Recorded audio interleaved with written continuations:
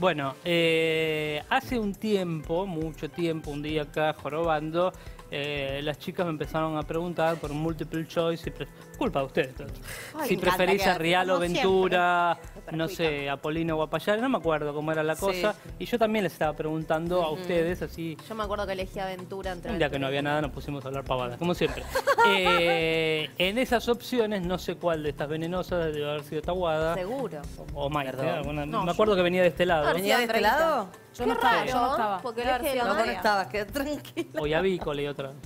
Otra, Otra maldita. ¿Y vos qué contestaste? Eh, me dijeron Viviana Canosa o Susana Rocasalvo. Claro. Ah, Yo sí. dije Viviana Canosa toda la vida porque. Susana es una porquería. Así había dicho en chiste al otro día, como sabía que le había molestado a Susana, pues yo nunca tuve problemas con Rocasalvo.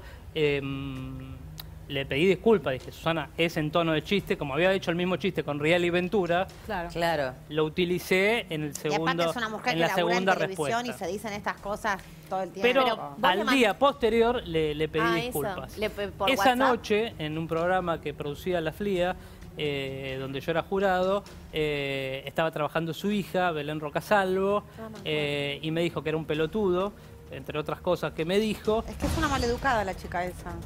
En principio no está preparado para, No. para estar en la tele porque No. no. No, tiene el oficio, ni la preparación, ni estudió nada. ¿Te Pero bueno, más allá así, de te eso... dijo, te cruzó y... trabajamos juntos en esa época, ella trabajaba en la previa y yo era jurado Claro, de Showmatch. Bueno, era- en ese programa de la previa, eh, Belén dijo eso, opinando de lo que había Ah, pasado a la mañana, acá al aire, ¿no? no Ah. Al aire, todo al aire.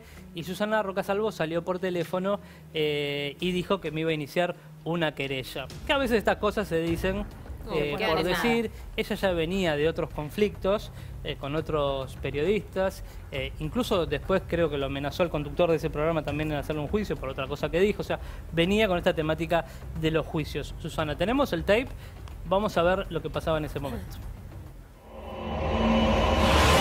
Yo llamé a Dragani, eh, así que. ¿Para bueno, qué llamaste nada. a tu abogado, Susana? ¿Cómo? ¿Para qué lo llamaste a tu abogado?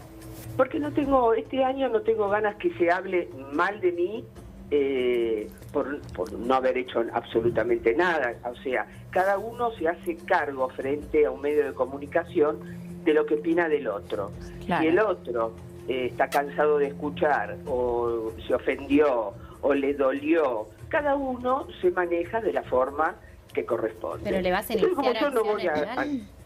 ¿Cómo? ¿Vas a iniciar algún tipo de acción legal contra se Ángel? los va a explicar el doctor Dragani. Mira, acá ¿Vos está, en- Susana, justo la explicación de, de tu abogado. Recién le pregunté eh, qué acciones contra Ángel van a hacer y me dice lo siguiente. Martín, contra Ángel de Brito vamos a hacer eh, una acción penal por injurias Penal. que ahora tramita diferente porque ahora se acompaña toda la prueba. Ya certificamos ante, ante escribano el tape de hoy a la mañana y además vamos a hacer una acción por daños y perjuicios contra Ángel de Brito, pero también una acción penal.